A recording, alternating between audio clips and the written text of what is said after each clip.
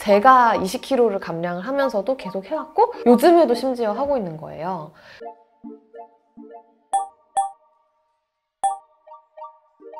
안녕하세요. 저는 건강하고 지속 가능한 다이어트를 이야기하는 단원의 제시예요. 오늘 저랑 같이 하는 습관 성형 수업 다섯 번째 시간이 벌써 돌아왔어요.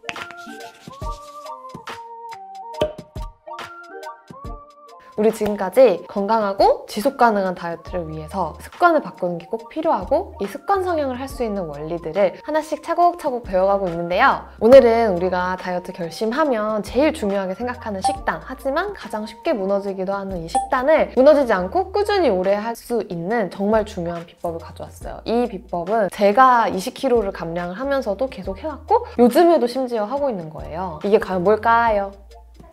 네, 바로 식사 일기를 쓰는 거예요. 다이어트에 성공한 사람들의 70% 이상을 보면은 식사 일기를 꾸준히 써왔어요. 이 식사 일기가 다이어트 시작하면 의뢰하는 거라고 생각하실 수 있겠지만 굉장히 강력한 효과가 있는 무기랍니다. 근데 일기를 쓰는 것도 습관이다 보니까 습관이 잘 안 잡혀 있으면 자꾸 쓰는 것도 까먹게 되고 자꾸 뭔가를 집어먹게 되고 이런 패턴들이 계속 반복될 텐데 그래서 오늘 수업 때는 이 식사 기록하는 게 왜 그렇게 중요하고 어떻게 하면 좀 더 잘 쓸 수 있는지에 대해서 이야기를 해볼 거예요. 오늘 되게 재밌는 실험 얘기 하나로 수업을 시작해 볼게요. 미국 국립 아카데미에서 작업자들의 효율이 조명이랑 어떤 연관관계가 있는지 알기 위해서 실험을 했는데 조명이 밝은 곳에 작업장에 있는 사람들, 중간 정도인 사람들, 되게 어두운 작업장에 있는 사람들이 어떻게 일을 하는지 관찰을 해봤대요. 어떤 조명에 있는 사람들이 가장 일의 효율이 좋았을까요? 맞춰보세요.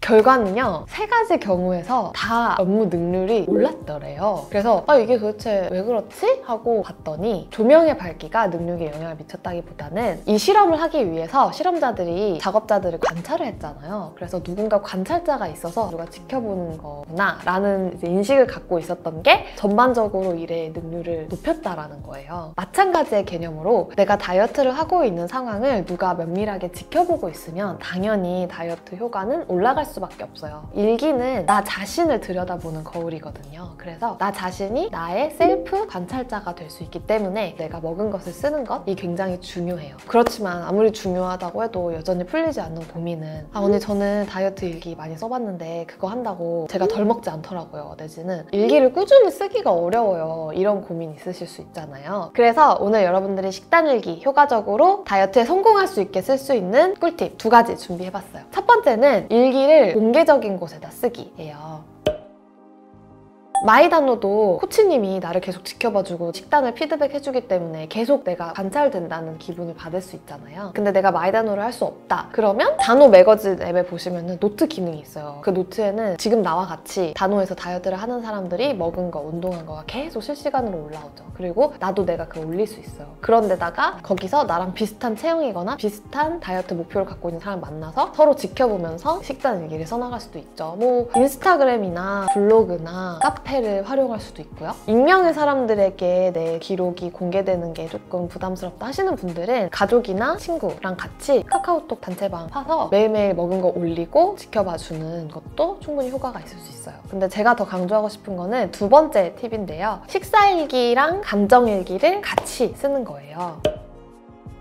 여기서 또 재밌는 실험 얘기 하나 나갑니다. 이거는 매사추세츠 대학에서 저슨 브로 교수님이 실험을 하셨어요. 이분은 흡연자들한테 담배를 끊으세요. 담배는 몸에 나빠요. 이렇게 얘기하는 게 아니라 담배를 폈을 때 느껴지는 내 몸의 감각, 느낌, 담배의 맛 이런 거에 세밀하게 집중해서 묘사를 하게 시켰어요. 근데 여기서 되게 재밌는 게 사람들이 담배 피고 나서 담배가 너무 달고 맛있어요. 막 황후에 흥복해요. 이렇게 얘기를 하는 게 아니라 담배 피는 행위에 온전히 집중해서 이 맛을 느껴보니까 담배 담배 냄새가 좀 역겹고 막 입냄새도 나는 것 같고 하고 나서도 내가 건강이 좀 안 좋아지는 것 같아서 사실은 기분이 좀 나빠요. 이렇게 좀 부정적인 감정을 느낀 거예요. 이 실험 결과에서는 그래서 흡연을 했을 때 부정적인 감정을 끌어내려고 노력하고 여기에 집중을 했던 분의 사람들이 일반적인 금연 프로그램을 했던 사람들보다 금연에 성공한 확률이 두 배 이상 차이가 났대요. 이 방식은 누군가가 하지 말라고 지적을 해서 그거를 못하게 막는 게 아니고 이 사람이 스스로 이걸 했을 때 감정 감정이 어떤지 부정적 감정에 오롯이 집중을 시켜서 스스로 이 행동에 대한 혐오감을 가지게 해서 이걸 안 하게 만드는 방법이에요. 내 몸에 안 좋은 행동은 당연히 내 몸에 부정적인 효과를 가져다 주잖아요. 그 효과를 극대화시켜서 자연스럽게 이 행동을 피하게 만드는 거죠. 어떻게 보면 요즘 많이 유행하는 마인드풀니스 그리고 스스로 자기를 관찰하는 방법을 통해서 행동을 교정하는 방식인데 과식을 하는 분들이 이거를 꼭 해보셨으면 좋겠어요. 왜냐면 과식을 하는 그 순간에는 음식들이 다 맛있고 내 혀 에서 주는 자극과 쾌감이 너무 크다 보니까 느끼지 못할 수도 있지만 음식을 먹은 직후에 느껴지는 그 몸의 찌뿌둥함, 소화기관의 부담감, 너무 많이 먹었다는 죄책감 이런 부정적인 감정들이 막 몰려오잖아요. 근데 그런 것들을 애써 외면하고 나중에 스트레스를 받는 게 아니고 그 감정을 오롯이 다 느껴버리는 거예요. 아 정말 과식을 해서 너무 죄책감이 들고 내가 너무 한심하고 기분이 너무 나쁘다. 나 진짜 내가 너무 혐오스럽다. 그런 감정마저도 오롯이 다 느끼고 식사 일기를 쓰실 때 먹은 음식만 쓸 뿐만 아니라 그 밑에 내가 느낀 감정에 대해서 아주 적나라하게 한번 써보시는 거예요. 이렇게 하고 나면 과식을 하면 안 돼, 하면 안 돼, 하면 안 되는데 이렇게 내가 머리로 이해하는 거를 넘어서 과식이라는 행동 자체에 본능적인 환멸감을 느끼게 만들어 버릴 수 있어요. 저 같은 경우는 저녁에 집에서 아무리 배가 고파도 뭐를 먹진 않거든요. 원래 그렇진 않았어요. 저녁에 배가 고프면은 배달 음식을 시켜 먹기도 했고 집에 과자가 있으면 싹쓸이 하기도 했고 이랬었는데 저녁에 뭔가를 먹고 나서 아침에 배부른 상태로 눈을 뜨는 게 그렇게 기분이 나쁘더라고요. 그래서 그 기분 나쁨에 집중하고 감정 일기를 쓰고 그 기분 나쁨을 기억하려고 애썼어요. 그랬더니 이제 저녁이 돼서 배가 고프더라도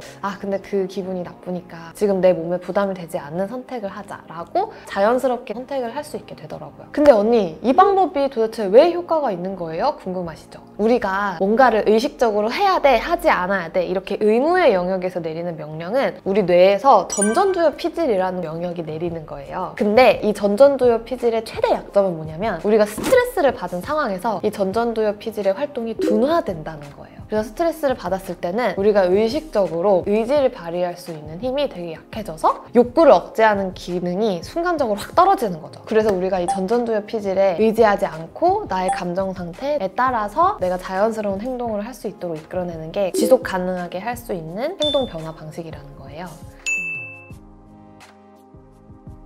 오늘 습관 성형 다섯 번째 수업 내용 한번 정리해 드릴게요. 건강한 식습관을 가져가기 위해서는 반드시 식사일기를 써야 된다. 그거는 다이어트 10년차 다 돼가는 단호 언니도 아직도 계속 하고 있는 거고 하다가 안 하면 습관이 무너지는 건 당연한 거다. 그러니까 간단하게라도 꼭 내가 먹은 거를 매일 삼시세끼 적어내리는 연습을 할 것. 만약 이게 잘 안 된다 해도 자꾸 가식하게 된다라고 하면 두 가지 팁을 써볼 것. 첫 번째는 좀 더 공개된 곳에 식사 일기를 쓰는 거. 두 번째는 나쁜 식습관을 했을 때 분명히 내 몸에 느껴지는 부정적인 변화가 있을 건데 그 부정적인 감정에 오롯이 솔직하게 집중을 해서 그걸 글로 표현해보고 나쁜 습관을 자연스럽게 끊어내도록 노력해본다. 그러면 오늘의 숙제 또 나갑니다. 오늘은 여러분들 식사일기 그리고 거기다 감정일기 한 줄 쓰는 거 댓글창에다가 한번 남겨보는 거예요. 혹시 지금 이 영상 보면서 배달음식 먹고 있다, 치킨 뜯고 있다 하시면 그거 쓰셔도 괜찮아요. 오늘 저녁 식사 치킨 반마리 나 감정? 먹고는 있지만 단호 언니의 이 습관성형 수업을 들으면서 동시에 이걸 먹는 게 굉장히 죄책감이 느껴지고 이거 소화가 잘 안 될 것 같고 바로 누워서 자면 또 살찔 것 같아서 잠을 늦게 잘 것 같다. 아 먹기 직전까지는 분명 엄청 먹고 싶었는데 먹고 나니까 기분이 엉망이다. 이런 식으로 감정 을 한번 처음에는 좀 더 세밀하게 구체적으로 써보시다가 점점 점점 내 패턴을 내가 좀 잘 알게 되고 이게 익숙해지시면은 간단하게 내가 먹은 것만 쓰더라도 내가 스스로를 객관적으로 인식하는 능력이 좀 더 올라오면서 식단 일기를 쓰는데 소요되는 시간이 줄어들 거예요. 오늘 습관 성형 수업 어떠셨어요? 여러분들의 식습관, 운동 습관, 전체적인 생활 습관에 가장 도움이 될 수 있는 내용들, 엑기스만 뽑아가지고 수업을 열심히 만들어가고 있는데 여러분들의 식습관이 좀 더 건강해지는데 도움이 되셨으면 좋겠어요. 그러면 다음번 습관 성형 수업에서 만나요. 안녕!